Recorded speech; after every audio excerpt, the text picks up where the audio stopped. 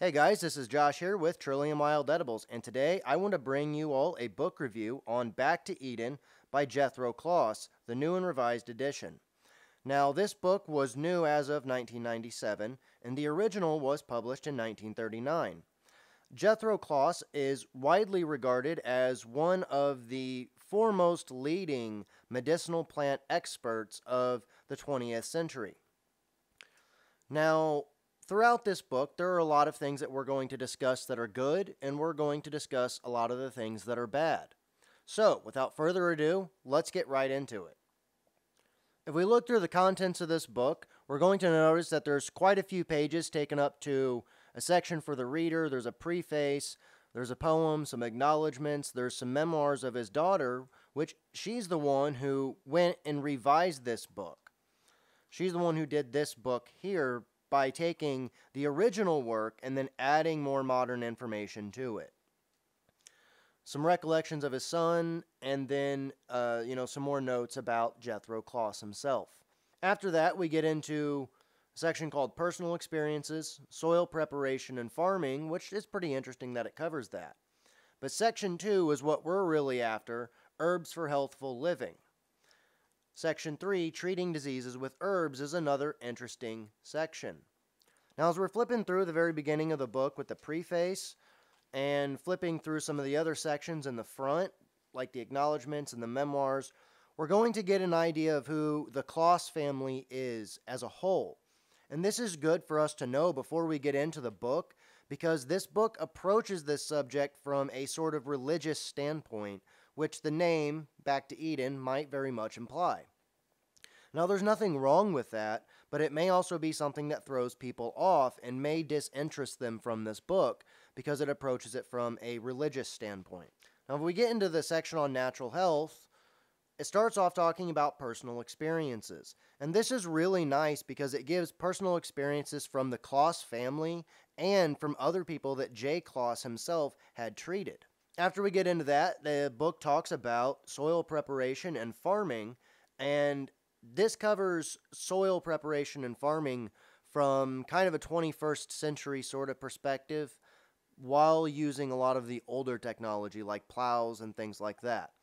Um, there's some really good information here, um, but it's not going to be anything that you won't find, you know, on a good gardening website or anything like that.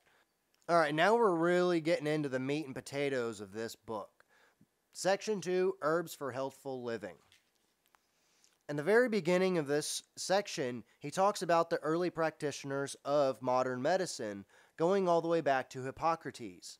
And this is a really interesting thing to learn for those who don't know about this.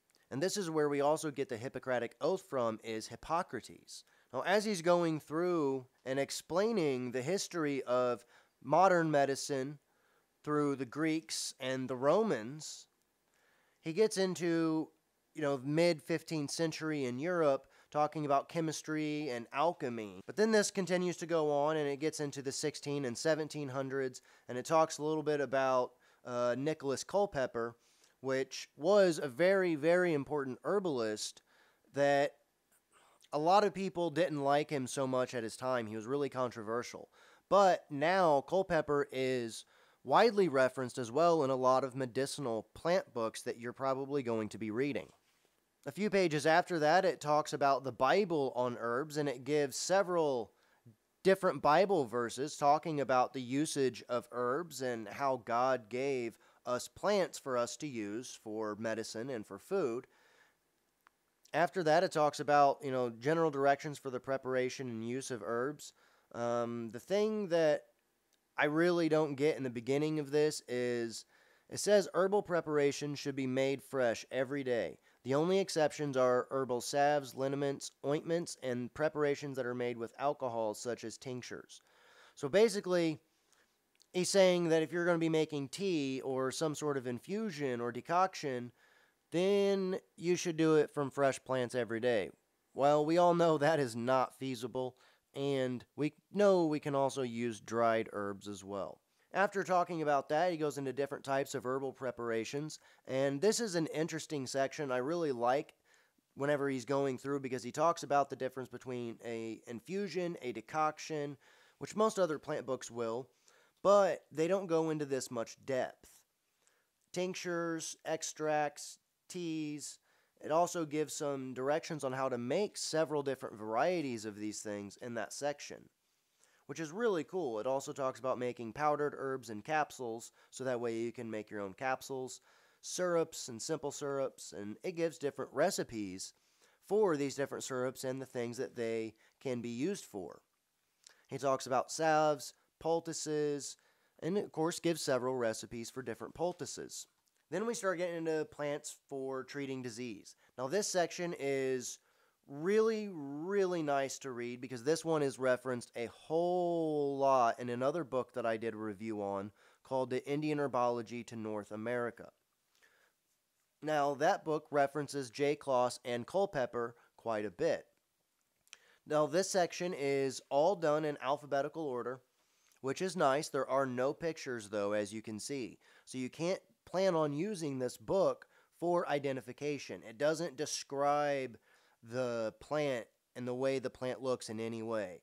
It basically assumes you already know what the plant is and what it looks like and how to forage it properly. But it does give really good description on how to use the plant and what it's used for, and it gives doses, and in a lot of cases, it'll also give full recipes.